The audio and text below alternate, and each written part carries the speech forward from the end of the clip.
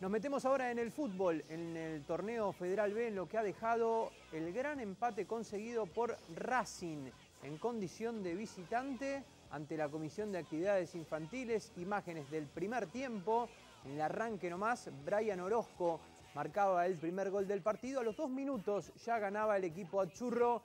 Racing que se termina trayendo un punto muy importante. Aquí vemos la gran definición de Kowalski marcando el segundo gol. A los siete minutos del segundo tiempo parecía que la CAI se quedaba con los tres puntos, que resucitaba.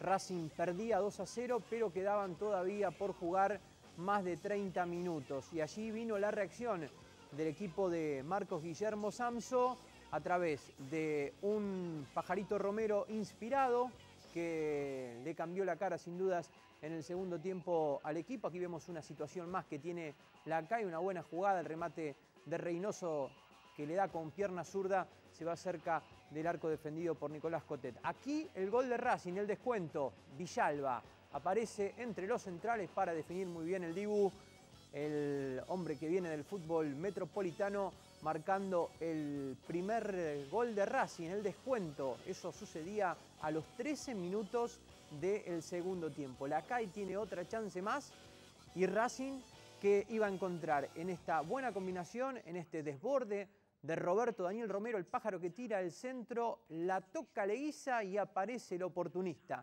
Martín Bataller de cabeza para poner de esta manera el segundo gol, el 2 a 2, punto importante el que se trae Racing porque significa ser de esta manera el único puntero de la zona 1 del torneo federal B de fútbol.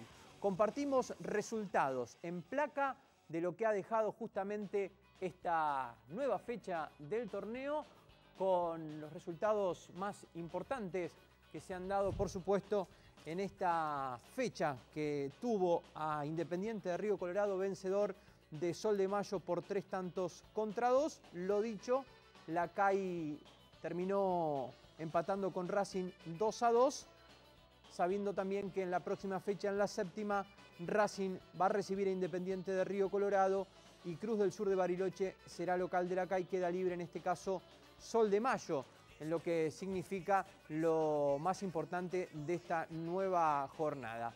De lo, que, significan los resultados y la próxima fecha, pasamos también a la tabla de posiciones. Así ha quedado el grupo 1, con Racing puntero 10, 9 para Independiente de Río Colorado, 5 tiene Sol de Mayo, mismo puntaje que la CAI de Comodoro, y con 4 Sol de Mayo, perdón, Cruz del Sur, aunque tiene un partido menos el elenco cruzado. Racing que de poder lograr un resultado importante el próximo fin de semana, partido que iría el domingo a las 11 de la mañana ante Independiente de Río Colorado, un rival directo, prácticamente aseguraría la clasificación a la siguiente instancia. Está en una situación muy importante realmente el equipo de la ciudad.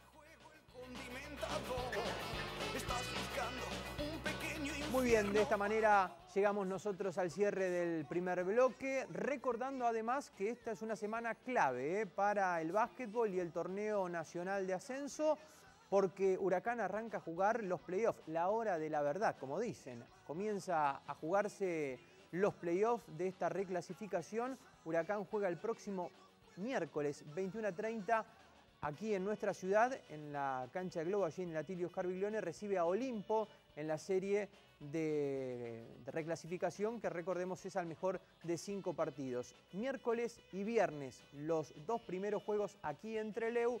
Lunes y miércoles se traslada la serie a Bahía Blanca.